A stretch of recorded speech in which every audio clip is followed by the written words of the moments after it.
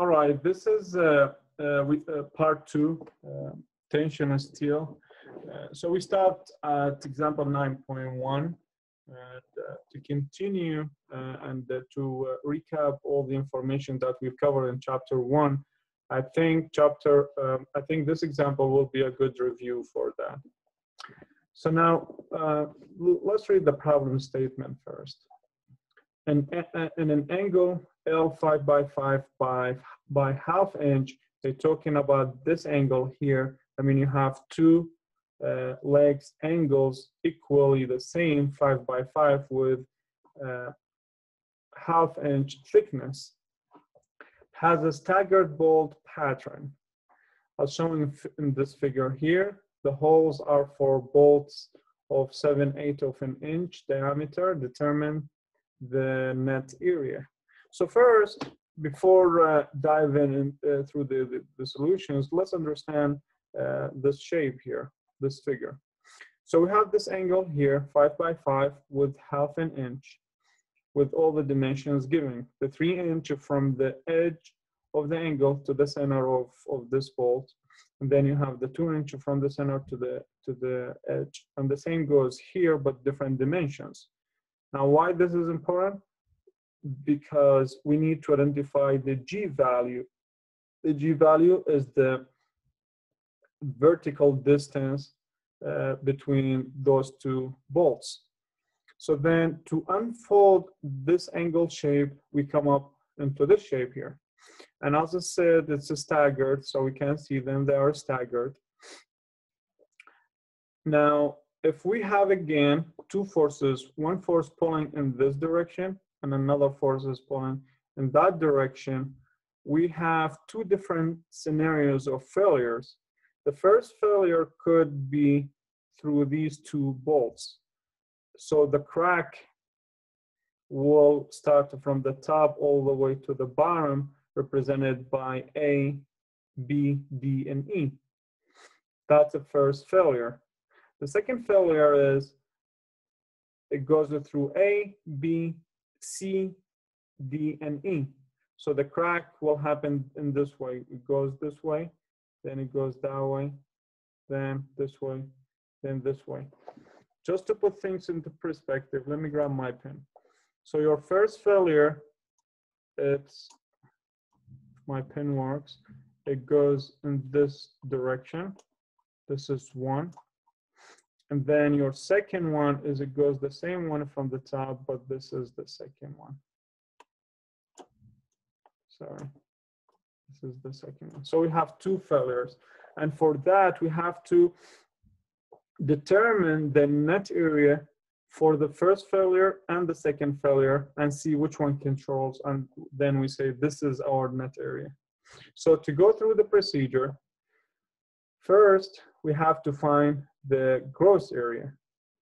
Uh, and the gross area for this example here is 4.79 uh, inch square. Now, um, typically we find the uh, gross area from the appendices, from appendix C for the steel. But for this particular example, we don't have angle 5 by, by 5 by half inch. So let's just assume we already have this value. Let's not worry about how we find the gross area first. And let's assume we have already the value there. And then the thickness is 0.5. We already got it from the given information.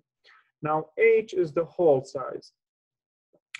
How do we find it? It's D plus the bolt size diameter. How do we know? If I take you back to this particular note here, the hole width is taking us one eighth of an inch greater than the bolt diameter. You guys remember from part one?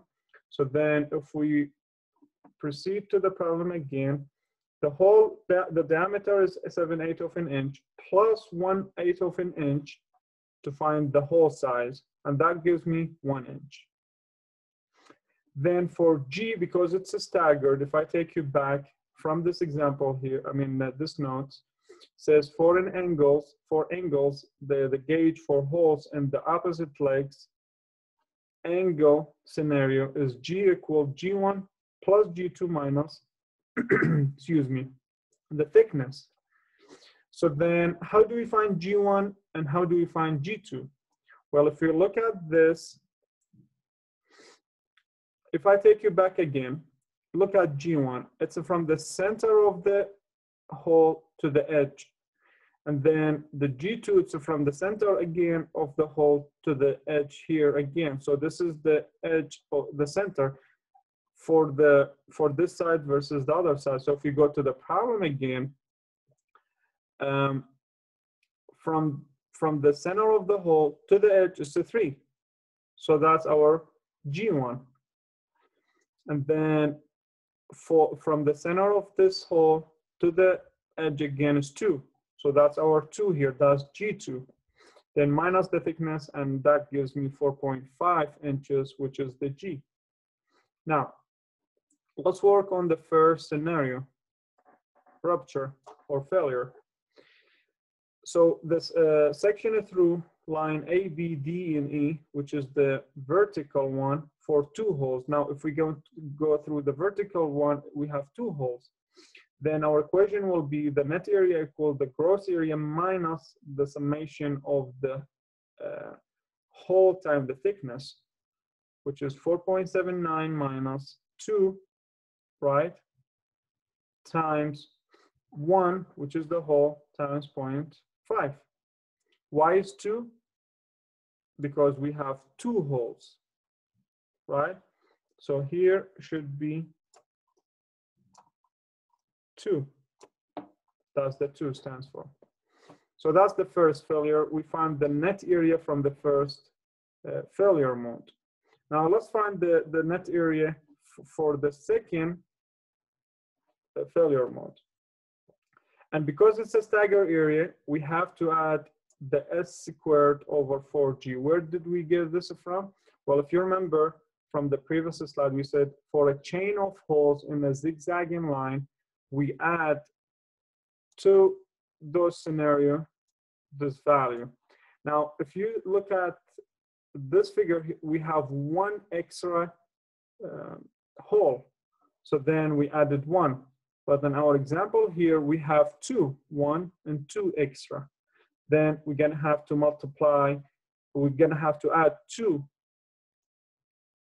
value, two uh, equations, two of those to the equation and multiply by 3. Why? Because we have now three holes. One, two, three.